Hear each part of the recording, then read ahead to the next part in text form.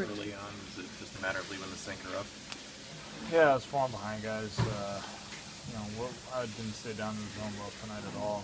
Um, at least consistently, I didn't. And um, you know, fell behind Joyce two one and got into a fastball count and uh, tried to come in with, with a sinker and it just ran back over the middle of the plate. So um, you know, it's uh, just just wasn't uh, wasn't sharp early, and then obviously in the later innings, kind of uh, lost it again.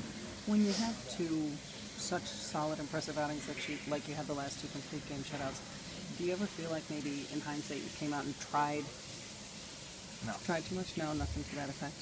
Can you just talk a little bit about you know trying to regain things and, and get going from there, and later on in the innings when you're controlling them and knocking them back down? Just get back down the strike zone and get ahead of guys. Can you give us your impressions on the All Star? I mean, obviously now you're in the the fan. Very happy for, for my teammates that, that have made the uh, made the team, and uh, obviously honored to be included in, in uh, the final vote and whatnot. And uh, you know, a lot of good a lot of good pitchers out there. So uh, you know, obviously it'd be awesome to be able to go, but at the same time, it doesn't take anything away from how well I feel like I pitched the first half, and you know, I'm proud of the work that I've done the first half. I want to continue to do that. Brett was saying before the game that on the national stage he kind of wanted you to go out there and you know kind of show the world what kind of pitcher you are. He still thinks you're an all-star, but does that?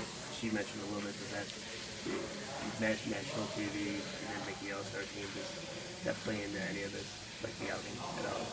No.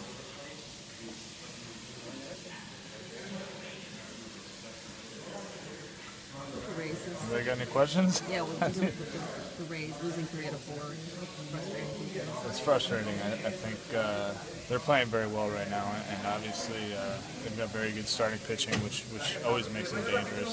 Um, but we've been playing well too, and, and I think uh, you know losing three out of four to them was was tough. But you know sometimes you got to tip your cap. I mean they swung the bats extremely well, and they threw the ball really well. So. Um, it is what it is, and we'll move on. We got uh, two games against the Dodgers before we hit the road again. Are you surprised enough that you guys have played so much better on the road than you have at home? You know, I'm not really sure what, what the reason is for that. I, just, I think it might just be one of those things right now where we've, uh, you know, when we've been on a roll, it's been on the road, and, and we've had some struggles at home. But I don't think it has anything to do with location or anything like that. I think that's just uh, how the chips have fallen. Thank you, Brett. Yeah.